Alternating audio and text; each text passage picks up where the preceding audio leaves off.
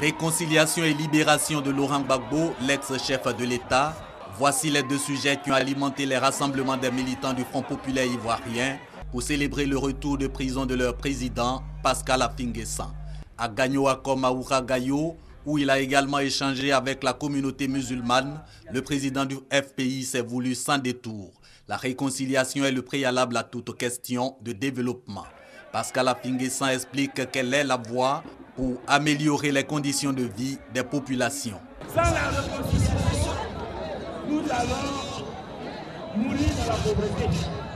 Nous allons mourir dans la misère. Le pays va disparaître.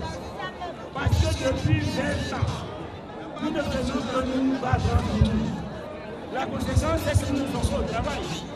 La conséquence, c'est que le pays vit dans la misère.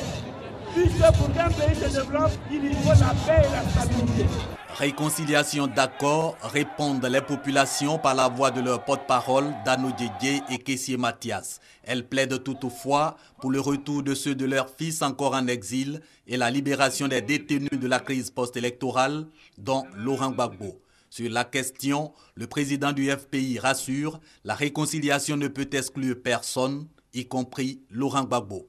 Celui qui le père de la liberté ne peut pas de liberté.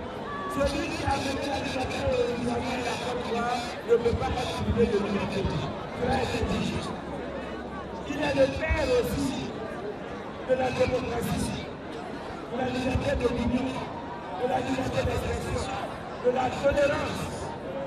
Laurent Gbagbo, depuis qu'il est dans la politique, a toujours été de tolérance et le dialogue.